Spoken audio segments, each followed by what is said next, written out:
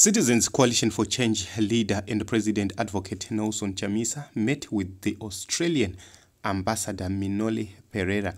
And um, in a tweet, she said, Good to meet with opposition CC Zimbabwe leader Nelson Chamisa for a wide ranging conversation in this very important year for Zimbabwe, recognizing the benefits of international partnerships and the strength of the Australian and Zimbabwean relationship. So we are heading towards elections, and um, it is good for Zimbabwe to have a free, fair, credible elections, such that it will be able to be adopted back into the international community. Zimbabwe right now is isolated from the international community because of human rights abuses, uh, plunder of natural resources, uh, corruption, uh, abuse of power, and so many illegal activities happening in Zimbabwe, including the judicial capture and imprisonment of political opponents by the regime.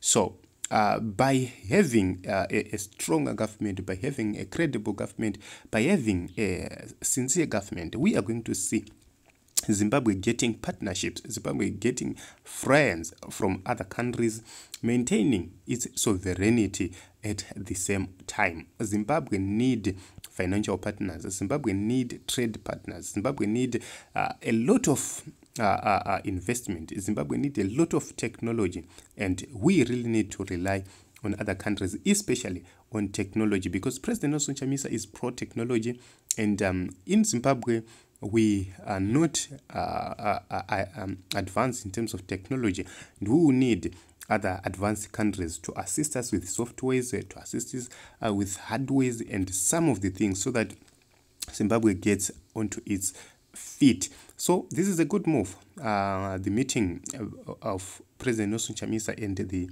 Australian ambassador is so, so, so welcome. We hope to see free, fair, credible elections happening in the nation of Zimbabwe, even though ZANU-PF is not willing and is not ready to hold such an election.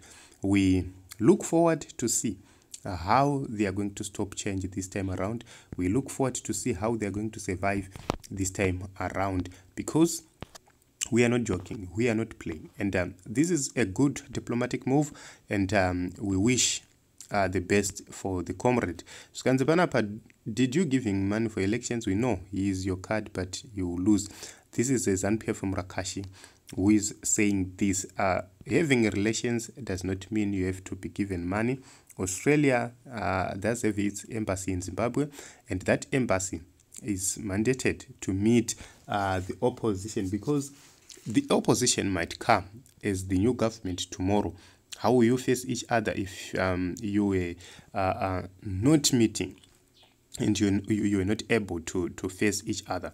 And um, uh, what international relationships are these?